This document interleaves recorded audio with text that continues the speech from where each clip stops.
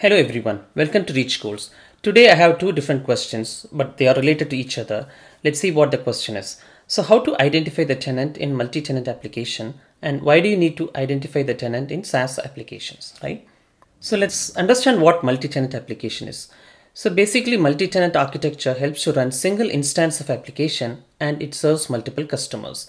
So if you look into the applications like Gmail, Yahoo, or even the GitHub, Workday, they are all working in multi-tenant architecture. That means the backend is common and the frontend and the front end is different, right? So the backend can serve multiple customers based on their subscription or based on their need. So that is how the multi-tenant architecture works. So let's say if you if you look into this picture, you have tenant one and tenant two, and they in turn connect to load balancers, and the load balancers in turn connects to the app servers, and the app servers in turn connect to the database, which is specific for the tenant one and tenant two, right? In this infrastructure, if the, if the application wants to serve the tenant one, they should understand who the tenant is, right? So that means from your application side, you should have a mechanism to figure out who the tenant is. And based on that, you can give access to the tenant one database and the, and the information specific to tenant one can be served to them, right? So we want to know how to do this. So before going into how to figure out who the tenant is, let's also understand what is the necessity for doing this, right? So you have multiple reasons for doing this. Let's say the first one is you have to control the features. Like so in this kind of application, there might be multiple feature which has been built by the company and they want to provide only specific feature for any specific tenant based on their subscription, right? So that is what we call it as a feature control. The next one is access control versus data security.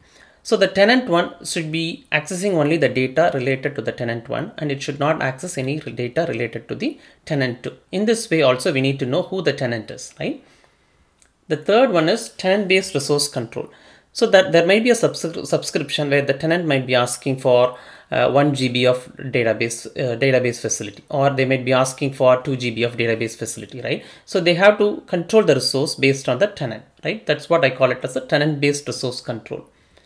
So the next one is tenant specific reporting.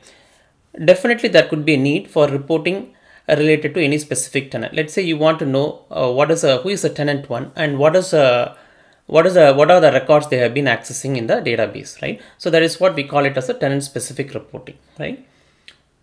And the last one is uh, tenant specific features. Let's say there might be multiple subscriptions like you know there may be five dollar subscription or ten dollar subscription or they even call it a subscriptions like uh, silver plan platinum plan gold plan based on that different features are given to the tenants so if i want to uh, differentiate the features and give specific features to the tenant then i need a mechanism to figure out who the tenant is right so based on that only i can limit the features at the backend and then i can serve to the tenant right so these are the real reasons we need to figure out who the tenant is right so let's come into the original question like how to identify the tenant, right? There are multiple ways to identify the tenant. Here I'm going to talk about three important ways which are primarily used in the popular applications, right?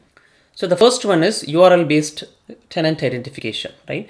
So if you look into the GitHub, you will see something like uh, HTTPS colon slash slash github.com slash Yahoo. So Yahoo is a tenant and based on the URL, you can identify who the tenant is and that URL can be used to generate a unique ID and that ID, ID can be stored in your database and for any future reference that ID can be used to differentiate between the different tenants, right? That is what we call it as a URL based identification.